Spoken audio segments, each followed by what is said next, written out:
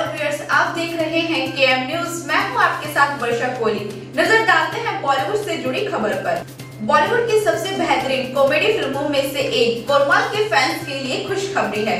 Film का जल्द ही अगला पार्ट आने वाला है।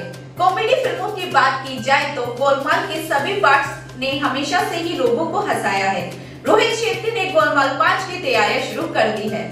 इस फ़िल्म में पहले की तरह एक अजय देवगन लोगों को हँसी का रोज देते नज़र आएँगे। बॉलीवुड डायरेक्टर रोहित शेट्टी इन दिनों अपनी आने वाली फ़िल्म सूर्यवंशी पर काम कर रहे हैं, जिसके बाद वो गोलमाल फाइव की शूटिंग शुरू करने वाले हैं।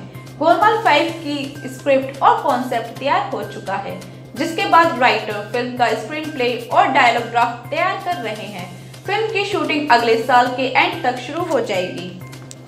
फ़िल्म को लेकर गोलमाल एक्टर अजय देवगन ने कहा, रोहित और मैं फ़िल्म के लिए कमिट कर चुके हैं। जैसा कि हमने पिछली फ़िल्म के दौरान कहा था, ये फन अनलिमिटेड और मेरी पसंदीदा सीरीज़ है। आपको बता दें कि अजय देवगन और रोहित शेट्टी इससे पहले भी ज़मीन, गोलमाल, संडे, सिंघम और द बेस्ट जैसी कई फ़िल्मों में एक साथ काम कर चुके हैं। फैंस को अब गोलमाल फाइव का बेसब्री से इंतज़ार है, जिसमें ये दोनों एक साथ फिर काम करते नज़र आएँगे।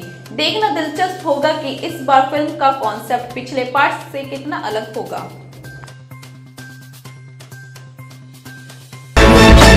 बॉलीवुड की खबरों के साथ जुड़े रहने के लिए हमारे चैनल के एम न्यूज़ को सब्सक्राइब करें।